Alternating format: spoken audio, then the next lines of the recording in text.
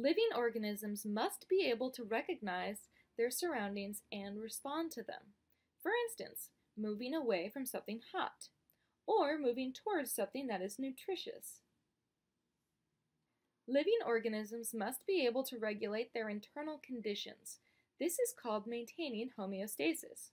They must be able to keep their internal systems separate and different from the external environment. Humans must maintain certain constant conditions inside their bodies even when things change in their environment.